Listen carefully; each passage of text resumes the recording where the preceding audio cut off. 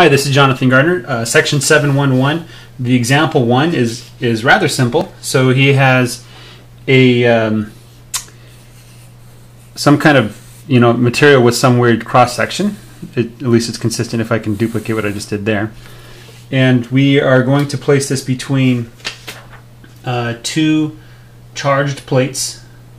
Um, well, let's just pretend that over here we have a potential of V naught, and over here we have a potential of zero.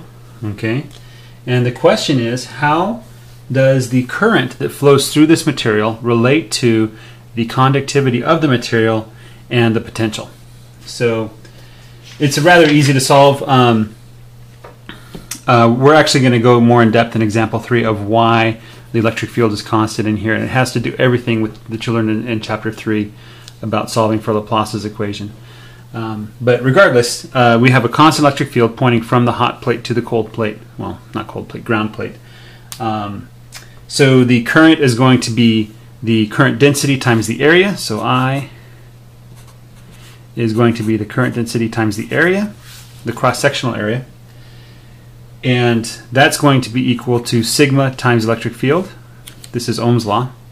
So we get sig sigma times electric field times the cross-sectional area. And the electric field is just going to be the potential difference between the two plates divided by the length. So we get V over L times the area. Okay? And so we get this nice little relation that the current is equal to sigma A over L times the potential difference between the two.